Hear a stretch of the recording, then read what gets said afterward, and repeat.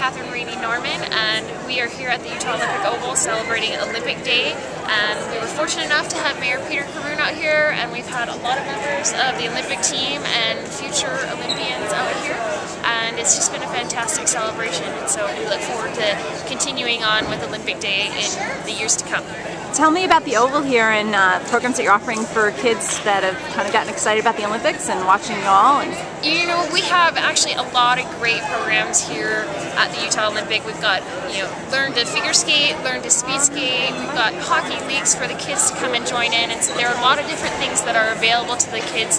They can get involved in a winter sport. We live in a desert. Let's come to the rink and chill out for a bit. Fantastic. And tell me about the banner behind you. The banner behind me. It is the new commemorative banner for the Vancouver Olympic team. Uh, here at the Utah Olympic Oval, they do a great job of honoring their Olympians all the time, and so this is the 2010 Vancouver banner that's just been unveiled. Fantastic. Thanks so much. We'll see you soon. See you guys. Bye.